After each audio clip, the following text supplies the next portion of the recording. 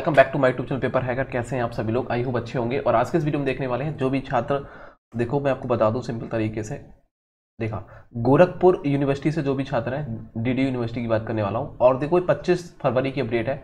आपको ये पता होगा कि जो जिसके छात्र के बैक पेपर मतलब कि अंक सुधार चाह रहे हैं 2020 और 21 का पेपर जो आपका रिज़ल्ट आया था, आपका फेल का आया, उसके बाद में द्वितीय वर्ष की बात करने वाले हैं, स्नातक मतलब कि यूजी वालों के लिए। जो यूजी के छात्र हैं मतलब बीए हो बीएससी हो बीकॉम हो, ठीक है, वो द्वितीय सेकंड मतलब कि सेकेंड ईयर में है, उन छात्रों के अंक सुधार परीक्षा हेतु उनकी क्या कर रखी है, देखो परीक्षा वर्ष दे रखी है मतलब कितने तारीख को पेपर होने वाला है, दो हज़ार बाईस में आपको पेपर कर रहे हैं लोग, करा रहे हैं फरवरी में मतलब कि कितने बाईस फरवरी को पेपर है आपका आप देख लो, जो आपका सेकेंड ईयर के जो स्टूडेंट है B A B S C B com वाले हैं सेकेंड ईयर के हैं, अंक सुधार के लिए मतलब कि बैक पेपर या फिर इंप्रूवमेंट जिसने डाला था, उस पेपर का आपको देखो पेपर होने वाले हैं। कब पेपर है, वो देख लो स्कीम आई हुई है आपकी, आपके सामने है।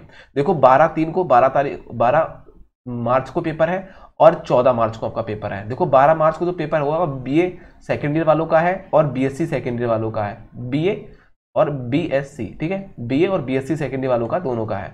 ठीक है? आप देख सकते हो सभी पेपर होंगे जिसने अपने अपने एक एक एक एक सब्जेक्ट में डालते हैं सब लोग। जैसे जब कला में ले लो गृह विज्ञान और गणित में ले लो केमिस्ट्री में ले लो संख्या जिसमें जिसने एक में डाला है, एक एक सब्जेक्ट वाले, ठीक है? बहुत ही विज्ञान, प्राणी विज्ञान जैसे बी एस में ये चीज़ है। तो अब एक एक सब्जेक्ट जिसने डाल रखा है, वो होने वाला है। बारह तारीख को बीए और बीएससी वालों का होगा। चौदह तारीख को जो होगा, वो बीएससी कृषि का, कृषि वालों का होगा। बीएससी कह सकते हैं बी गृह विज्ञान वालों, द्वितीय वर्ष और तृतीय वर्ष वालों का भी होगा। देखो, द्वितीय, तृतीय वर्ष के जो कृषि विज्ञान के वो भी होगा।